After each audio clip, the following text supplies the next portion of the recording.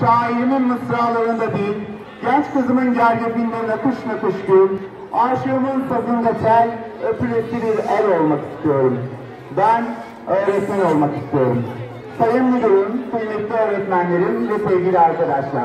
Bugün buraya 24 Kasım Öğretmenler Günü'nü kutlamak için toplanmış bulunuyoruz. Hoş geldiniz. Sizleri baş öğretmen Mustafa Kemal Atatürk, şehit öğretmenler ve aramızdan ebedi olarak ayrılmış tüm öğretmenler için bir dakikalık saygı duruşuna ve ardından İstiklal Marşımızı okumaya davet ediyorum.